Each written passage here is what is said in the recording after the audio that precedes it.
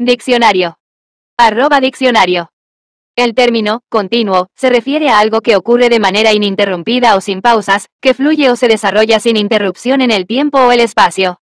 En un sentido general, puede describir procesos, movimientos o fenómenos que no presentan rupturas, sino que mantienen una progresión constante.